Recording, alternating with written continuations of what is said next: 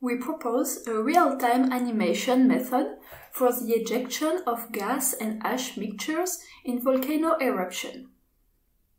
Rising plume is composed of hot gas and ash particles which progressively entrains more air before reaching a maximal altitude. Our animated model is based on two layers.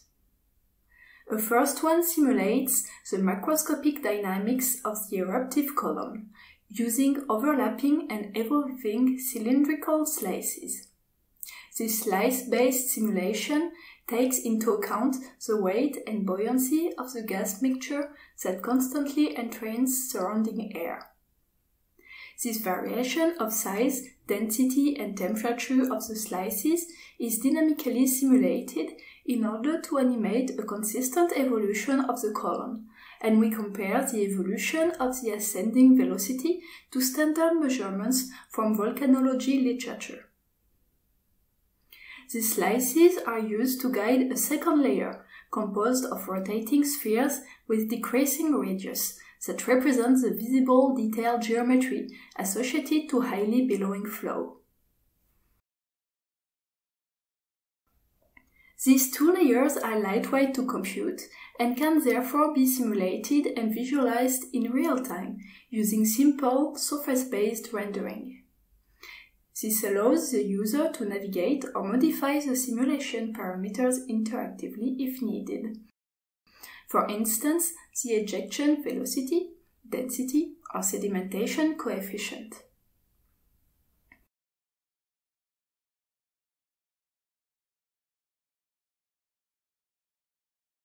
We can further previsualize this flow using billboarding techniques. This gives to the user a closer insight on the volumetric aspects of the ejections.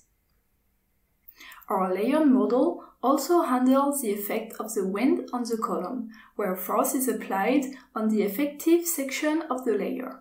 This results in a curved trajectory of the slice centerline that we can compare to expected curves from specialized literature.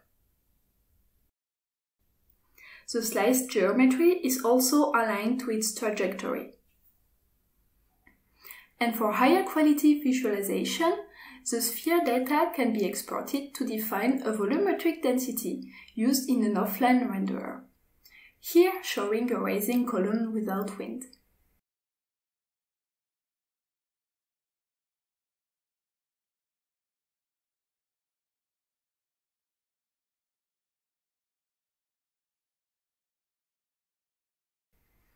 And here showing it under a slight wind of 15 meters per second.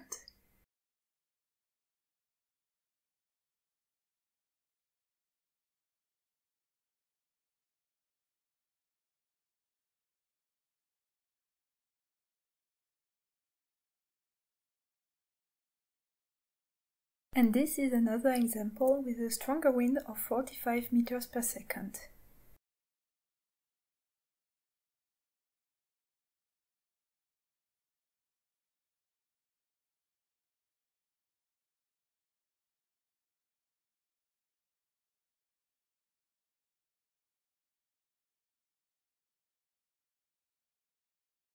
Here we compare the rendering of the plume with only the big spheres of scale 1, the spheres of scale 1 and 2, and the spheres of scale 1, 2, and 3.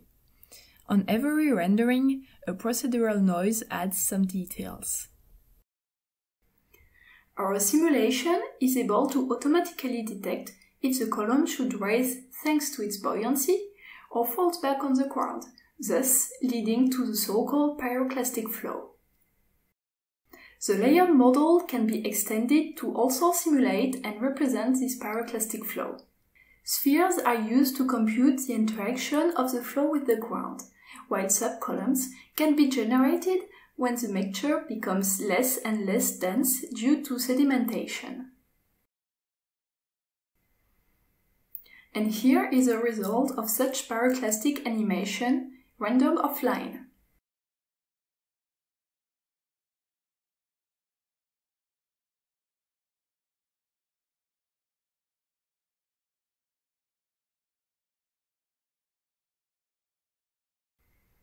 and thank you for watching.